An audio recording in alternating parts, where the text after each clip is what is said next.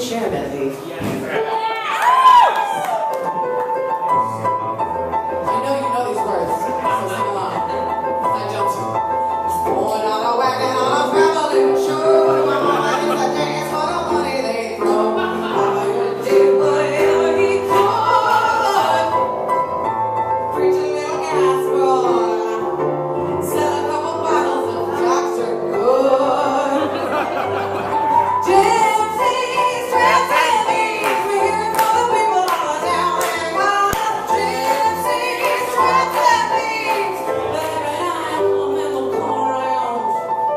and later money night.